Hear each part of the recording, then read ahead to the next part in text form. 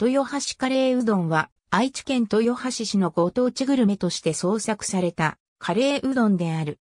豊橋開港コンベンション協会が地域おこしの一環で2009年夏頃から構想していたメニューを地元の麺類組合に開発を依頼。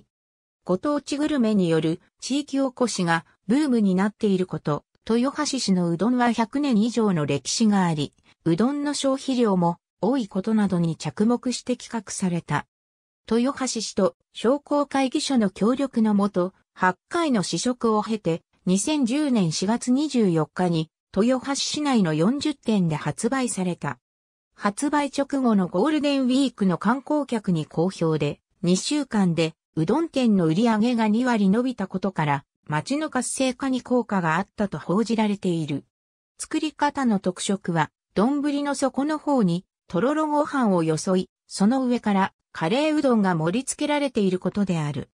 普通のカレーうどんでは食べた後に残ってしまう出汁をカレーライスカレー雑炊として美味しく食べきれるように工夫された。先にうどんの層だけを食べることで2種類の違った味が楽しめる。ご飯を後から入れるのには抵抗を感じるという人にも配慮したという。食器が1個の丼で済むため、イベントでの提供が容易というメリットもある。2013年4月より、豊橋カレーうどん風せんべいが発売になった。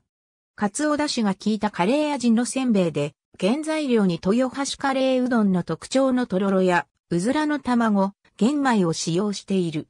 丼の中には、とろろご飯が入っている。豊橋カレーうどんを名乗るためのルールとしては、次の5箇条が定められている。